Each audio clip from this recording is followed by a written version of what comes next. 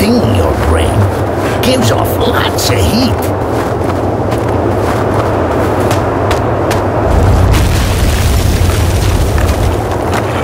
Now, if I were you, which arguably I am, I'd be asking myself in a gormless sort of voice, did that bridge really collapse, or is my good friend Clarence just playing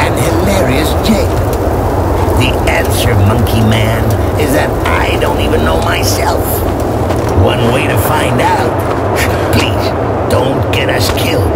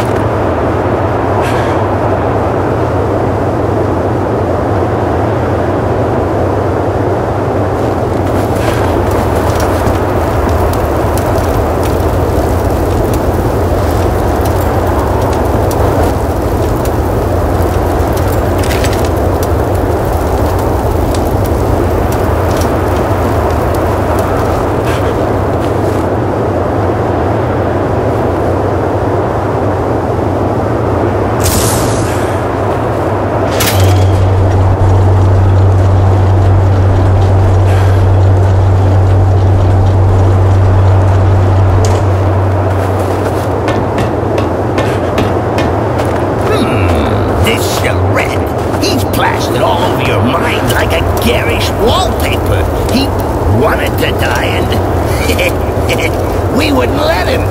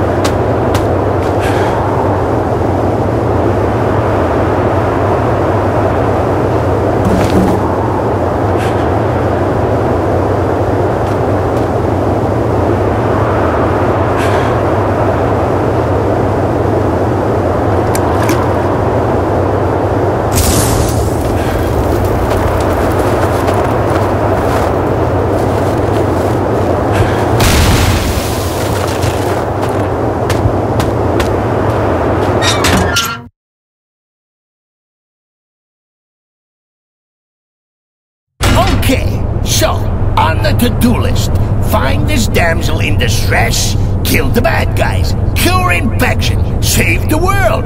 Chances of success? Nil. Chances of survival?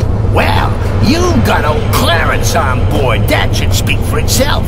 Chances of you buggering things up royally? Almost certain.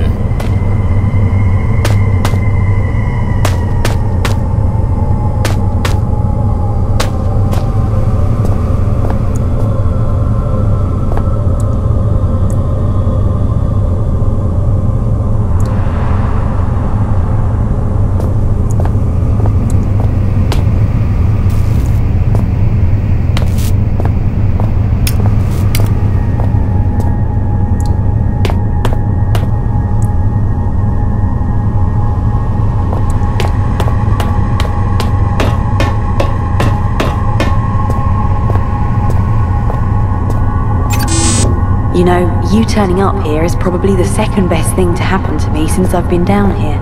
I'm reserving first place for when we get out. So, I'm not big-headed enough to think you came all the way here just to rescue me.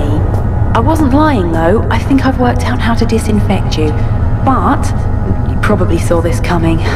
It's not quite as simple as all that. I had to engage the failsafe on the research rooms to seal myself in here, and that means we need a key card to get me out.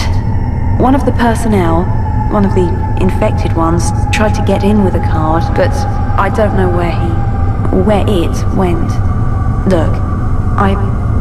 I need you, and, well, if you do get me out, I'll give you the biggest hug of your life. Christ! Go here, go there, fetch this, run me a bath. Typical broad, atypical circumstances. You think fate has anything to do with this? Fate is merely the war cry of those too scared to think for themselves.